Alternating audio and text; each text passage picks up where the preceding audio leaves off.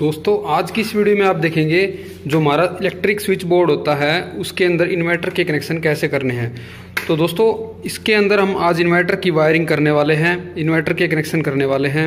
इसके अंदर दोस्तों, मैं बता देता हूँ आपको, जितने भी पॉइंट दिए हुए हैं, सबके अंदर इन्वर्टर के कनेक्शन करेंगे, सिर्फ़ इंडिकेटर को छोड़ के। इंडिकेटर के अंदर सिर्फ़ पावर का रहेगा, जो मेन सप्लाई आती है, वो वाला रहेगा। बाकी हम इसके अंदर सब के सब, इसके अंदर इन्वर्टर के कनेक्शन करने वाले हैं। तो इन्वर्टर के कनेक्शन करने से पहले दोस्तों मैं आपको इन्वर्टर की साइड से लेके चलता हूँ। आपको इन्वर्टर का दिखा देता हूँ कि कहाँ से कैसे तो अभी हम आ गए इन्वर्टर के पास हमारा ये एक इन्वर्टर है ल्यूमिनस कंपनी का है। और ये हमारी बैटरी लगी हुई है इसकी इन्वर्टर की। और अभी मैं आपको दिखा देता हूँ इसके पीछे से कि हमारा जो स्विच बोर्ड के पास जो वायर जाएगा वो कौन सा वाला है। दोस्तों ये जो सॉकेट लगा हुआ है ये इसके अंदर जो एक येलो कलर का वायर है ये ये वाला वायर हमारा स्विच बोर्ड के अंदर जाएगा। यहाँ से सिर्फ़ एक ही वायर जाएगा दोस्तों, जो कि फ़ेज़ वायर होगा। न्यूट्रल वायर दोस्तों मैं आपको बता देता हूँ, कॉमन वायर होता है हाउस वायरिंग में। वही इन्वर्टर को चार्ज करने के लिए होता है। जब पावर चली जाती है तो जब चार्ज करते हैं, जिस वायर से, उसी वायर से रिटर्न हमें घर पे मिल जाता है। तो इसलिए हम यहाँ से एक सिर्फ़ फ़ेज़ वायर लेके जाते हैं। न्यूट्रल हमारा कॉमन हो गया। जो इसके अंदर पीछे सॉकेट लगी हुई है दोस्तों, ये सॉकेट के राइट साइड में फ़ेज़ वायर होता है। ठीक है। और इसके बैटरी के कनेक्शन वगैरह है। ठीक है। और तो कनेक्शन देखते हैं। दोस्तों वायरिंग करने से पहले हमने इसकी पावर ऑन कर ऑफ़ कर ली है। पावर को ऑफ़ कर लेना है क्योंकि हम वायरिंग करते समय कोई वायर को छू छू ना जाए और करंट लग सकता है। इसलिए हम इसकी पावर को ऑफ़ कर दिया है। ठीक है। दोस्तों, अभी हम इसके अंदर वायरिंग कर लेते हैं। जो मैंने आपको वहाँ पे वायर दिखाई थी दोस्तों। यहाँ पे एक वायर डली हुई है, जो कि इन्वर्टर की वायर है। वहाँ पे येलो कलर की वायर थी बट यहाँ पे ये वाइट कलर की है। बीच में ज्वाइंट लगा के कहीं ना कहीं से लेके आया हुआ है इलेक्ट्रीशियन अगर आपके यहाँ पे ये नहीं डाल रखी है तो आप वहाँ से एक डायरेक्ट कनेक्ट करके इस स्विच बोर्ड के पास लेके आ सकते हैं। तो चलिए अभी हम इसके कनेक्शन करते हैं। दोस्तों, इसके कनेक्शन करने से पहले हमें सिर्फ़ एक बात ध्यान में रखनी है। जो हमारी इसके अंदर मेन सप्लाई का जो फ़ेज़ आया हुआ है, वो ये वाला दोस्तों।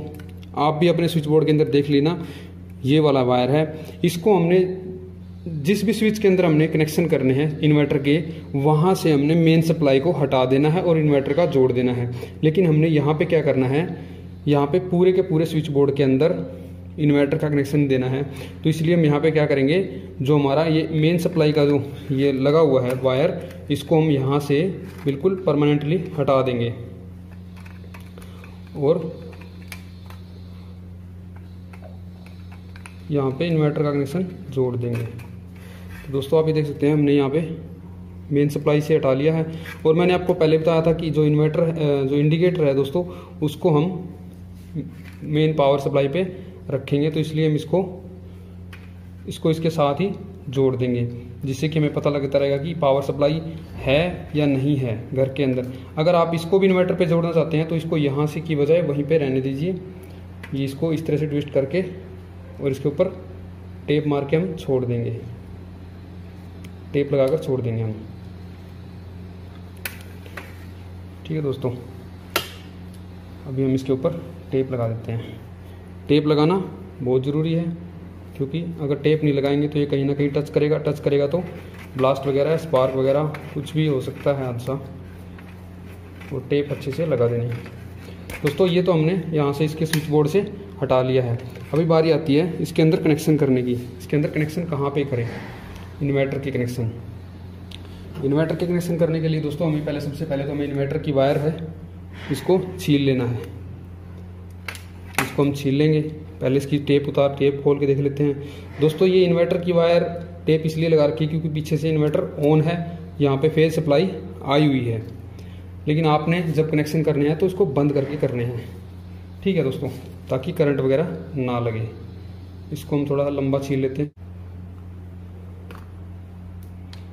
और इसको थोड़ा ट्विस्ट कर लेते हैं, ताकि स्विचेस के अंदर अच्छे से जा सके।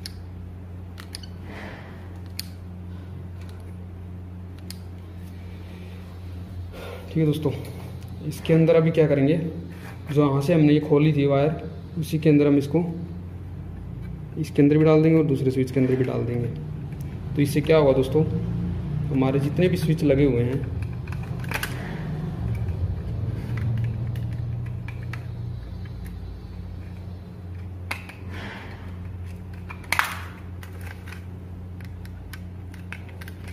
तो दोस्तों, अभी आप देख सकते हैं, यहाँ पे हमने इन्वर्टर की वायर जोड़ दी है और इसके थ्रू ये लिंक लगे हुए हैं अंदर दोस्तों।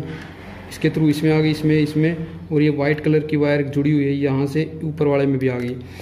तो अभी आप देख सकते हैं, यहाँ से इसको ऑन ऑफ़ लाइट को ऑन कर सकते हैं। आप देख सकते हैं थोड़ी सी रोशनी हो रही है, ठीक है? और हमारा फ़ैन भी चल गया है अभी, ठीक है? और एक इंडिकेटर हमारा ऑन नहीं हुआ, क्योंकि जब वो पावर सप्लाई ऑन होगी, तभी होगी। जब, चलिए हम इसकी पावर सप्लाई को ऑन कर देते हैं। तो इंडिकेटर भी हमारा ऑन हो जाएगा। तो दोस्तों, अभी हमने पावर भी ऑन कर दी है और इन्वर्टर भी सप्लाई ऑन है। लेकिन पावर से सिर्फ़ इंडिकेटर ऑन हो रहा है, बाकी जो स्विचेज हैं, जितने भी अप्लाइंस हम यूज़ कर रहे हैं सॉकेट वगैरह, वो सारे के सारे इन्वर्टर पे हैं। तो दोस्तों, आप अपने घर पे आसानी से इस तरह से पूरे स्विच बोर्ड के अंदर इन्वर्टर के कनेक्शन कर सकते हैं। अगर आपको ये वीडियो अच्छी लगी दोस्तों तो इसको अपने दोस्तों में भी शेयर करें ताकि वो भी इन्वर्टर के कनेक्शन करना सीख जाएँ। तो दोस्तों, आपको वीडियो कैसी लगी, हमें कमेंट करके ज़रूर बताएँ। अगर आपको वीडियो अच्छी लगी तो उसका लाइक और शेयर ज़रूर कर देना। दोस्तों, मिलते हैं नेक्स्ट वीडियो में, तब तक के लिए जय हिंद, वंदे मातरम।